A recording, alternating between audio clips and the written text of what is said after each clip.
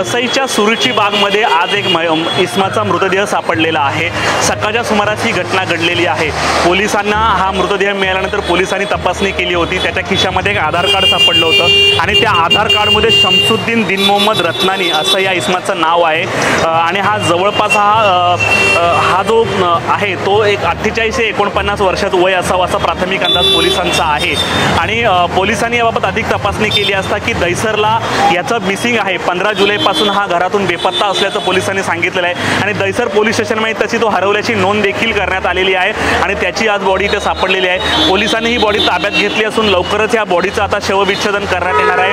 आणि आणखीन काय त्याच्या शरीरावर जखमा आहेत की हत्या आहे की आत्महत्या आहे हे पोलिसांच्या तपासानंतरच कळेल. तर त्या सापडल्यानंतर नेमकं कारण काय आहे पुढील तपासानंतरच समोर येईल. याबाबत देखील आम्ही पोलीस निरीक्षक करपे यांच्याशी चर्चा केली आहे. ते काय बोलत आपण ऐकूया. आज सकाळी आमचे नाईटचे अधिकारी हे पी जगताप यांनी कळवलं की सुरुजी बीच या ठिकाणी एक बेवरच बॉडी मिळालेली आहे. तात्काळ पोलीस त्या ठिकाणी घटनास्थळी पोचले आणि ती बॉडी बाहेर काढली.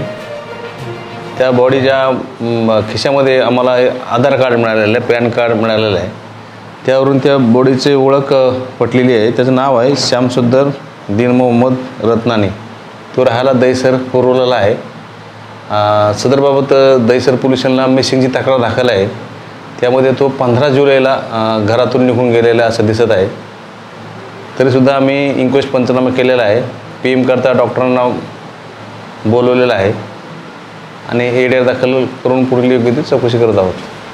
तर का केली काय माहिती आहे का? हां द दैसर पोलिसांना आम्ही संपर्क केलेला आहे.